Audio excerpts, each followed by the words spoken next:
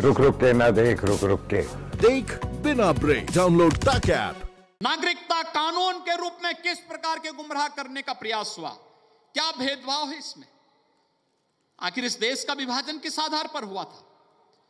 और विभाजन के कारणों के अनुसार पाकिस्तान बांग्लादेश और अफ़गानिस्तान में मुसलमानों पर कोई हमले नहीं हो रहे कोई अत्याचार नहीं।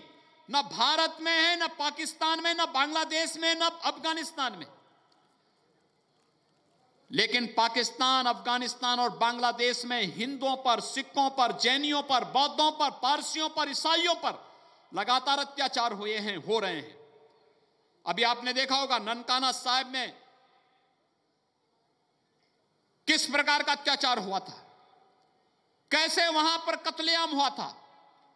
कैसे वहाँ पर कीर्तन के कार्यक्रम को, नगर कीर्तन के कार्यक्रम को रोक दिया गया था। एक सिख नौजवान की हत्या कर दी गई। और ये रोज के किस्से हैं पाकिस्तान के अंदर तो। और अगर भारत की सरकार ने उन पीड़ित और प्रताड़ित अल्पसंख्यकों को भारत के अंदर नागरिकता देने का कार्य किया है तो फिर इसमें कांग्रेस को इसका स्वागत करना चाहिए था। क्योंकि यह कार्य उन्नीस में होना चाहिए था 50 में होना चाहिए था, बावन में होना चाहिए था। नहीं कांग्रेस कर पाई। मोदी जी ने किया। मोदी जी का अभिनंदन होना चाहिए था। कांग्रेस के पाप का परिमार्जन करने का एक तरीका था, लेकिन उन्होंने इस कार्य को नहीं किया। और आज मोदी जी कर रहे हैं। कहाँ भेदभाव है? मोदी जी ने आने के बाद 2014 से अब तक 10 करोड़ परिवारों को एक एक शौचालय दिया।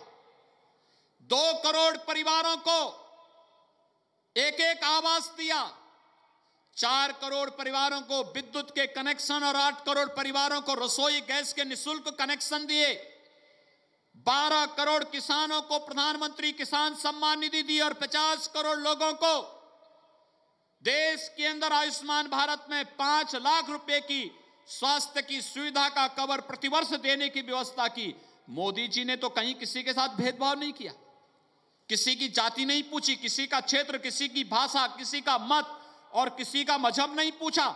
जब मोदी जी जाति, मत, मज़हब के आधार पर किसी के साथ भेदभाव नहीं कर रहे हैं तो फिर यह आरोप लगाना कि नागरिकता कानून भेदभाव कर रहा है यह वास्तविकता से कोसों दूर है। और भाइयों बहनों देश को गुमराह करने और भारत की छवि को दुनिया के अंदर धूमिल करने की कुछ साजिश का हिस्सा है। हम सब इस साजिश को पहचानें।